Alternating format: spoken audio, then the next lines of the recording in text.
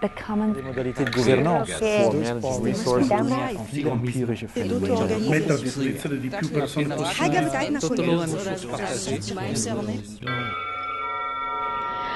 In my understanding, commons are the space where we exercise common rights and common responsibilities.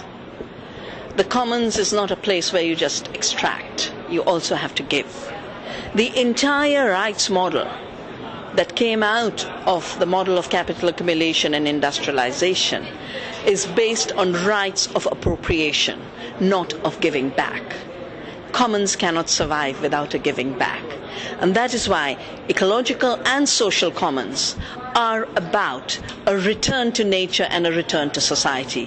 And with the economic crisis of Europe, with the ecological crisis at the planetary level, it's extremely clear that common rights of the earth, the common rights of the sea, the common rights of the rivers, the common rights of people to have water, to have food, to have seed, the common right to land, the right of the land, that these are all converging in a new way.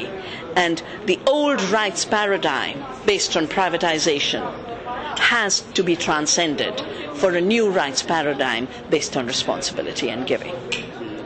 I think the next steps after Rio Plus 20 are the steps we needed to take before Rio Plus 20, uh, because these are punctuations.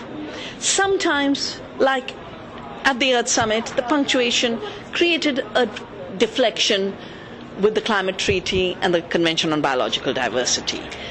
With the Rio Plus 20, it is all about the corporations which have already destroyed our societies, our economies, and the planet, wanting to grab what little remains. They're creating an economy of greed and they call it the green economy.